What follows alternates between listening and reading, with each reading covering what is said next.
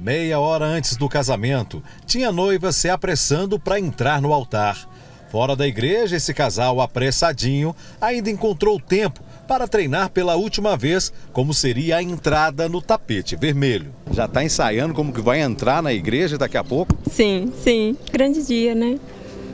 Realizando sonho. A gente quer que Deus abençoe. Pensa num pessoal que estava ansioso. E quanto mais o tempo passava, o coração batia mais forte. Um momento mágico para a Ivanilda, de 50 anos, que conheceu João Batista há 22, mas faltava um detalhe para celebrar a união entre os dois. Eu esperei isso há 50 anos, para esse sonho realizar. Então, para mim é muito importante, uma alegria, né?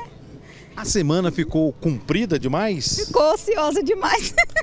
é o meu sonho, né? O meu sonho, assim, realmente casar e ser feliz para sempre, né? Que só Deus nos separe, que só Deus nos separe, né? A primeira celebração de casamentos da Igreja Universal de 2023 reuniu 400 casais em todo o estado mais de 150 somente no templo da Avenida Goiás, em Goiânia. A gente já está há um certo tempo organizando, mas traz, a gente tem essa alegria muito grande de proporcionar essa felicidade para os casais que estão aqui, né? E ver a alegria no olhar deles, e isso é o que traz a nossa felicidade, né? Com tanta gente assim, que o Tamberto estava um pouquinho preocupado. O pessoal já se preparava para entrar no altar, mas cadê a noiva? Perdi a noiva, cheguei mais agora, fui me trocar e tô só com um companheiro aqui. Calma, ela está se arrumando por aí e daqui a pouquinho aparece. O principal motivo dessa celebração coletiva é formalizar a união e receber a bênção no altar. Neuza e Custódio esperavam há 50 anos por esse dia. Eu nem pensava em casar, mas quando eu vi ela, eu pensei, ou é agora, ou talvez seja difícil eu encontrar outra igual a ela. Então eu tenho que optar por alguma coisa. Ou eu continuo solteiro, ou essa é a minha esposa.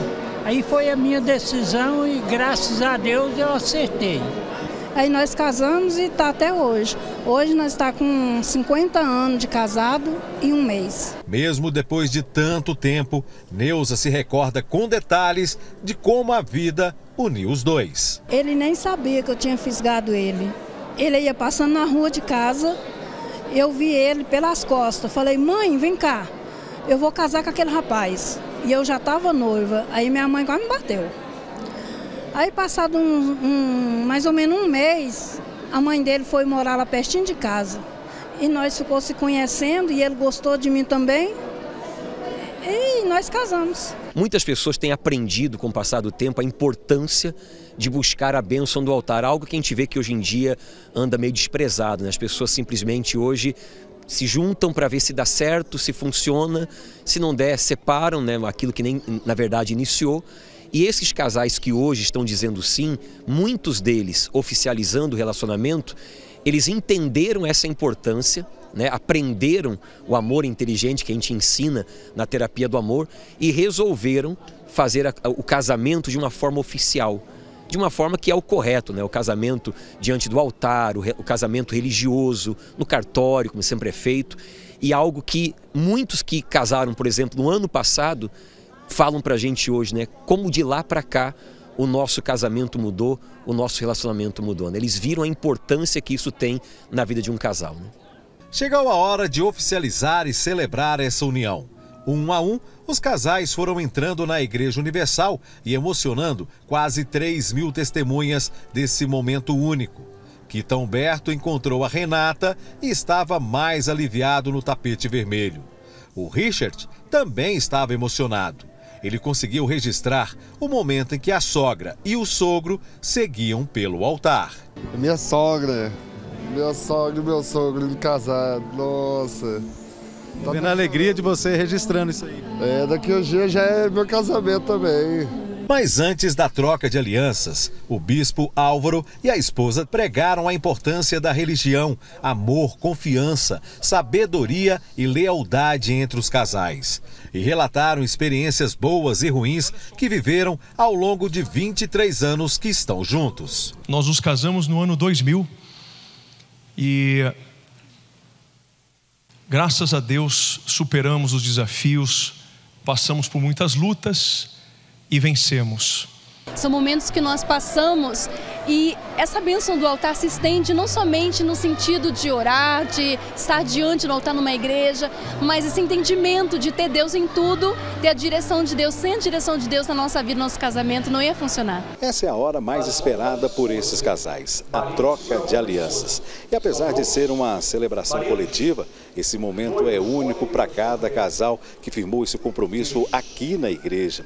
E agora você deve estar se perguntando, se questionando por que tanta demora para trocar as alianças aqui no altar. Tem muitas pessoas que não entendem a importância da bênção do altar, que é o primordial, é o que nos abençoa até hoje. Vamos completar 23 anos de casado e somos felizes, abençoados devido a essa bênção. Então, aqueles que casaram no civil, entendam isso. A bênção do altar é aquela que vai solidificar o relacionamento. Não pode ser deixada de lado.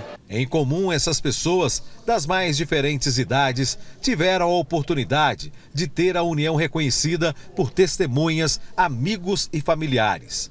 Fizeram um compromisso de uma união abençoada por Deus que vai trazer prosperidade e paz espiritual. Eu prometo te amar, assim como Cristo amou a sua igreja e sacrificou-se por ela. Pode colocar aliança no dedo dela e agora.